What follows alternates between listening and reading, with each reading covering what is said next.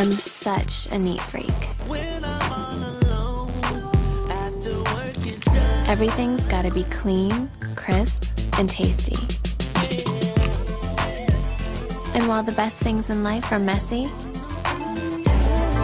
it's fun to get clean. Who said salads can't be hot?